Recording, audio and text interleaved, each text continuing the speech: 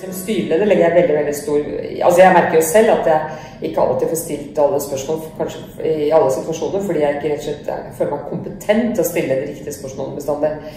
Og, men, eh, men hvis styret samlet sett er kompetent, det er det viktigste um, alle er ikke like kompetente til alt, så legger jeg veldig stor vekt på at alle får tømt seg og liksom får frem alt på bordet. Det er ganske viktig.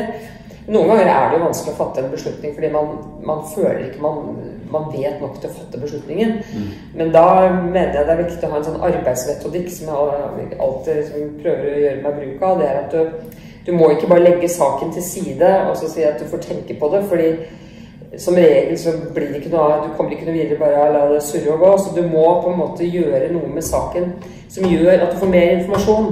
Så du må liksom ha saken i spill, stadig bringe frem mer ikke sant, og stille nye spørsmål. Sånn at du til slutt har eh, et saksgrunnlag da, som er så eh, Som blir stadig mer tilfredsstillende. da. Så det er min metodikk da, hvis man ikke greier å fatte en beslutning. Den følelsen av at vi vet ikke noe, sånt, det er å prøve å bringe stadig mer fakta på bordet. Eller mer kunnskap på bordet, eller hva som belyse saken bedre. Mm. Uh, og ikke bare gi den opp, for å si det sånn. Altså, at du ikke orker å ta en beslutning fordi det er så vanskelig. Uh, så prøve å ha fremdrift da, i en sak hen imot en beslutning. Mm. Hvordan beholder du sånn fremdrift?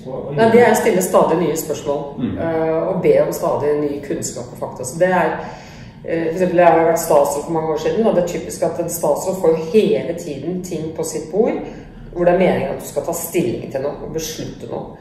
Men ofte er det lett. Uh, ofte har du fått et veldig godt råd, så du kan si ja, det slutter meg til dette. Ikke sant? Det er mange tilfeller. Men noen ganger så er det megavanskelig, og da er det en typisk ting å gjøre, men som etter min mening er litt sånn uting, det er å legge den til side på pulten. Og så jeg liksom ikke greier å fatte en beslutning, og så la den ligge der og verke. Men da syns jeg det er en bedre metodikk å stille nye spørsmål uh, for å prøve å få mer på bordet, sånn at det er lettere å ta en beslutning. Få sendt den i spill igjen da, for å få tilbake et enda bedre saksgrunnlag. Mm. Som kanskje gjør det lettere å ta en beslutning.